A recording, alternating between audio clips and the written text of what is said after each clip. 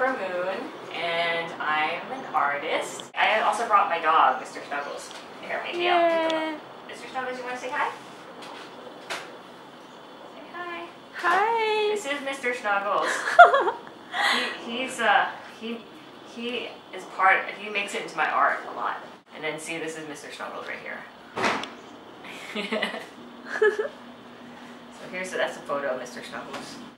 This one, I made little action figures of me and Mr. Snuggles. Can you see? oh wow, look at that. So there's, And there's both of you- Uh huh. Both of you has wings. Yeah. Yeah. We're gonna we are gonna jump off that cliff and we're gonna fly.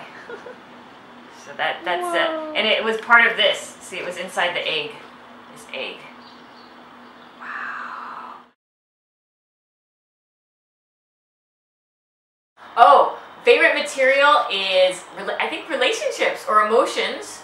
I know that sounds like I'm thinking like maybe when people say materials, they're thinking about like like materials like Maybe photo- like, performance like photography. your yeah. You know, like I do use a lot of photography, but like my and and and um, I work with a lot of other artists. So like my friend, um, my friend Patrick Connor, he does a lot of my photography, Mhm. um, and uh, like so like Barnacle Brothers made this sculpture, um, but I do a lot of performance art too. Um, so so in terms of like materials that I produce work in, it's generally yes like sculptures, photography. I also do a lot of writing, um, and um, yeah. But I feel like the material is also also like the material that I use to make art. And in that sense, it doesn't have to be like a physical. It doesn't have to be like a physical material. It could be things like emotions. Like I use emotions a lot, or like something like vulnerability. Like I use that a lot as material for work. Um, you know, beliefs and ideas. Those are materials as well. But I really like that question because it's like be tangible and intangible material. Wow.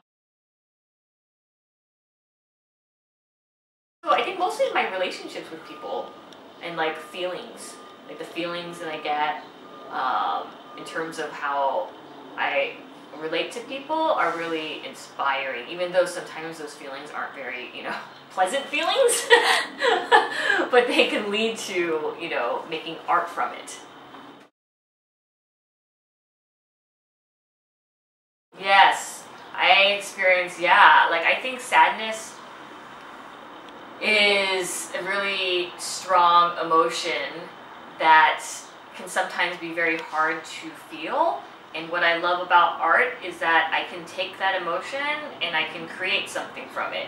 So that emotion doesn't just like it, it doesn't just sit inside of me and like and I feel you know sometimes if I if a, an emotion doesn't have an outlet, like if I can't do something with it, sometimes it could sit inside of me, and then I feel like it's overwhelming or consuming me um, because I don't really understand it. And I think what art has helped me with is it's helped me to understand my emotions because my emotions, like sadness or anger or jealousy or you know what's some other uncomfortable ones. Uh, I guess you know. Uh, those are pretty good ones, I guess. but sometimes, like, if I don't know where they're coming from, so art helps me to like be able to sit with them and then kind of like identify where it's coming from. Usually from like a belief that I'm having, um, and then I can take that and create something with it so that it's generative, and so then I can get it out of myself. Um, and it, I, I think art's like really great for that. So, yeah. Okay, the secret is that I have a lot of faith. Like faith meaning like like I have a lot of trust and faith in life, in my relationship to life.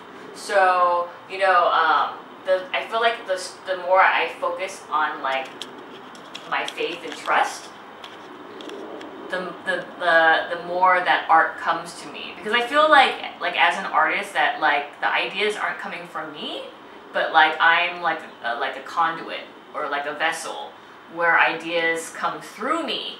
And so my only job is to kind of remain open um, and trust that, um, trust in my connection to the world. So, so that the more that I trust and the more I have faith, and when I say faith, I mean like knowing, um, knowing that no matter what, like everything's gonna be okay, like no matter what. Um, so then if I if I focus on that, then like ideas come to me, which are coming from, you know, like either like some kind of higher source or from the world or the universe, and then I'm a conduit and I receive the idea, and then I can create something from it.